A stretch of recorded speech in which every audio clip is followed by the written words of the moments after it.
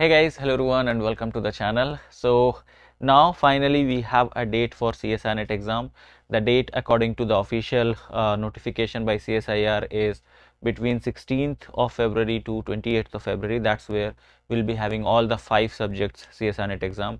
Chemistry uh, or chemical sciences, I'm expecting it to be conducted in the first few days. So I'm expecting it on 16th of February. That's what I'm expecting, but let's see what the final date is. But let's assume that our CSIRNet exam for chemical science is on 16th.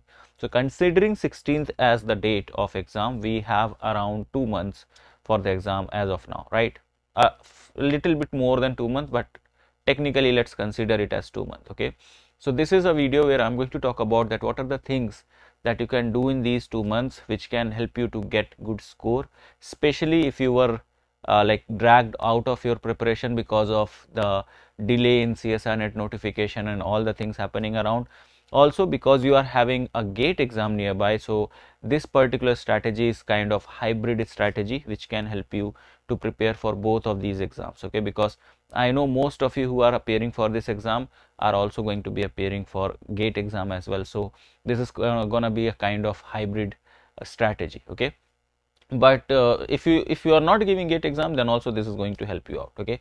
So there are certain things which you do not have to do as of now okay? When you have some days you already know how many days you have for the exam. So there are few things which you can avoid okay? Number one thing which you can avoid is rushing through it okay? You you should not rush through. You should not think that okay i just have two months and i am going to do all the things today and i'm just going to do uh, like i'm going to solve questions also. I'm going to do test series also. I'm going to do everything today or everything in less time okay? That you do not have to do take your time okay? Because right now it is very important to cover your syllabus because when you sit for the exam it's actually very important to know and to cover a lot of part of your syllabus especially if you have not covered 60 to 70 percent of your syllabus that is going to make it the things difficult okay? Especially when the exam is so competitive these days okay? So considering that the first thing which i will suggest you is to cover your syllabus at least complete 60 to 70 percent of it. I'm not telling you to study each and everything because that's not possible okay? Nobody is uh, is there who prepares for CSIRNet exam and covers each and everything from the syllabus okay?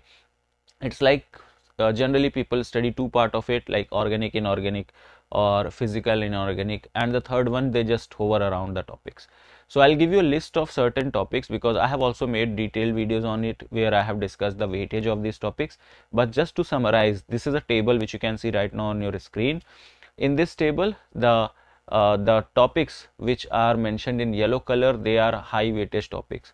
Okay so you should not uh, if you have let's say covered organic and inorganic so make sure that these high weightage topics are covered. And if you are leaving physical chemistry completely that should not happen okay? At least try to cover some topics from physical chemistry. At least try to do them which are easy as well as have high weightage okay? So try to do them that way so that you have a lot of content when you sit for the exam. You have a lot of things in your mind and you have a lot of things with you where you have studied and you have uh, concepts ready for you to sit in the exam and talk, to solve questions with that okay so that's the first thing which you have to do. Cover at least 60 to 70 percent of your syllabus. This thing you can keep doing until the end of december. And in january i'll be making another video where i'll be talking about what are the things that you have to do then. But as of now you can keep studying your concepts. Keep making short notes of yours because these notes are going to be helpful in the later stage when the exam will be near. Okay? So right now you can keep studying your concepts. Keep uh, like keep exploring the topics keep including more and more topics in your preparation so that by the end of december you have almost 60 to 70 percent of your syllabus covered okay in case if you have not even started your preparation in that case i will suggest you to start at least from those topics which have high weightage and start studying them in short. Try to cover as much possible as much topics as possible okay? As i said 60 to 70 percent of your syllabus needs to be covered when you sit in the exam. If you are covering more than that well and good but minimum 60 percent 70 percent syllabus needs to be covered okay? So that's the first thing which you have to do and the second thing which you have to do is you have to keep revising things okay? Because you you know when you prepare for exam from my experience i'm telling you from the experience of students i'm telling you that when you study for the exam when you let's say you have today studied let's say chemical kinetics and tomorrow you started uh, let's say some topic of inorganic chemistry and uh, then you will start forgetting the formula or you will start forgetting what you have studied a day before or you will start forgetting the things which you have studied few days back so it becomes very important to do a regular interval of revision or I would say a cyclic revision because when you don't revise you will start forgetting things and that is not going to help you in any way okay? Because another way uh, or an, again giving more effort to the same topic after few days it's not going to help okay?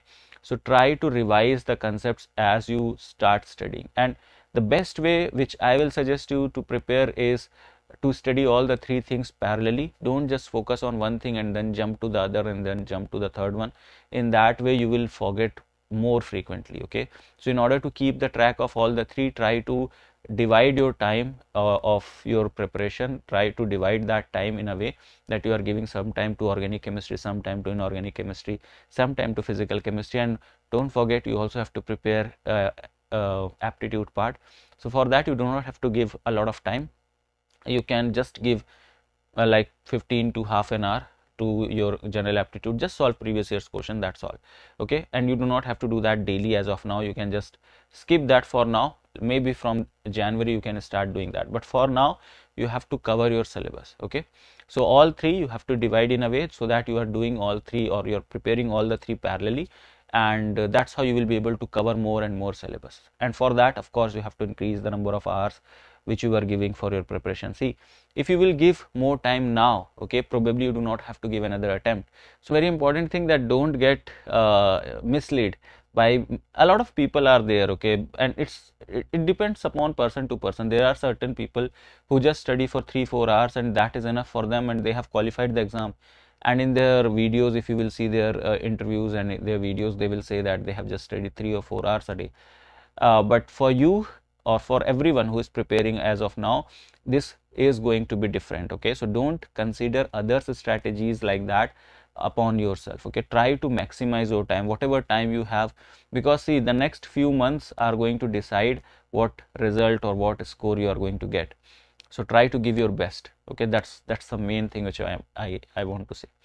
Uh, again uh, uh, additional thing which comes with it is that try to avoid social media for few months okay? I know it's very difficult it's very addictive. Everybody gets addicted to uh, instagram reels and uh, you know social media post but try to avoid them. Certain fix fix certain time in a day that this much time i will give to uh, social media and then i will stick back to my studies okay? So try to do that. In that way you will be able to maximize your uh, like time for your preparation okay? So yeah. So first thing is to maximize or to increase the number of topics so that you cover at least 60 to 70 percent of your syllabus. Second thing is to revise the topics okay? And the third most important thing is to solve previous year's questions so when you are preparing a topic it is always recommended to solve questions along with it. And for there your topic wise questions or topic wise previous years are going to help. We have our own ebook launched and if you want you can purchase that. Link is there in the description of this video. Uh, so in that particular ebook you will find uh, questions from CSIR uh, June 2011 till CSIR uh, the last CSIR which was CSIR June 2024 so you have all the questions from there and they are segregated in topic wise manner so that uh, if you will go and if you will uh, see a particular topic you will have all the questions asked from that particular topic ever since 2011 till 2024 so in that way you have the collection of all the questions along with their detailed solution. So in case if you are not able to solve it or if in case you don't know the concept or if in case you don't know what the formula is going to be used in that question you have solution for that you can uh, look upon it and you can solve that question. So that makes uh, it very easy to prepare a particular topic. In let's say you already know that thermodynamics is a topic which is uh, not good for you or you are not good at thermodynamics. So what you have to do is just give some time to thermodynamics, try to study it from uh, like if you want you can join our gamma batch where I have explained all these topics in detail. I have made detailed videos over there. These are detailed lectures where you can access them uh, like these are like classes, recorded classes. And with that you will have a lot of insight. You will have a lot of concept building of the particular topic. Okay, so if you want you can join our gamma batch. It's already running on our app and on the website as well so yeah so you can go and watch that particular lecture you can understand what thermodynamics and what are the important formula how to apply them and all these things are mentioned in that particular video once you are done with it you can start solving previous year's question. Uh, and then let's say if you are getting stuck at a particular concept let's say you are not able to solve a question of Clausius-Clapeyron equation then you have to get back again try to prepare that Clausius-Clapeyron equation or try to revise Clausius-Clapeyron equation and again start your uh, like again resume your problem solving approach. So, in this way you are not only studying a concept, but you are also revising it and along with that you are also trying to solve that question related to that particular topic that is building the problem solving approach which is very very important for the exam point of view right. So, these are the three major things which you have to do as of now. When this December is going to end because we already have around 20 days now. So, you can keep doing these things for the next 20 days. But next after this December ends and once you are having January then we will be having around 45 days left for the exam. There we will discuss that how you can start with your mock test or you can start with your test series and then how you can manage time or how you can practice so that it gives you an idea that uh, exam like interface or exam like experience how to build up that we are also working upon it we are working upon our own uh, like uh, mock test and test series for CSIRNet exam which will be launched very soon. So stay tuned for that okay? But as of now try to do three major things. Cover your syllabus around 60 to 70 percent of your syllabus. Revise the concepts so that you don't forget them at the later stage of when the exam will be near. And third thing is try to solve previous year's question. These are the most important and the most basic things which you have to do as of now okay so that's all for this particular video if you guys have any other question you can ask me in the comment section below I'll try to make more videos specific to certain people, let's say specific to those people who have been giving this exam multiple times, who are repeaters for this exam and also for those who are giving this exam for the first time. So those strategies videos are going to be uh, like they are going to come very soon on this channel. So do subscribe it for that and uh, that's it from my side for this particular video. Take care, bye bye and all the best for your exam.